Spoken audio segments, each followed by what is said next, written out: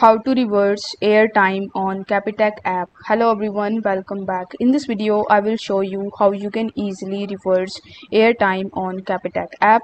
So make sure you watch the video carefully so that you don't miss any of the steps in this process.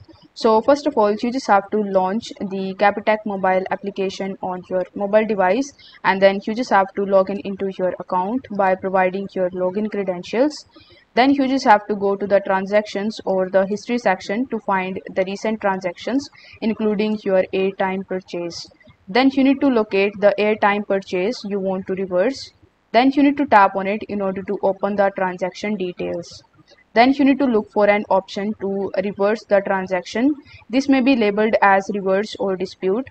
So if the app allows you need to follow the prompts to confirm the reversal request if you cannot find the reversal option in the application or if the reversal is unsuccessful, then you can call the Capitec customer support team at their provided helpline number or you can visit the nearest Capitec branch for further assistance. You can use the in-app chat or messaging service to explain your situation and you can request a reversal.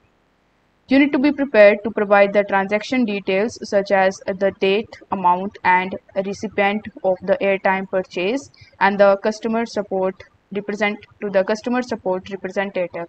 So I hope this video was helpful and if it was then don't forget to like the video and subscribe to the channel. Thank you so much for watching.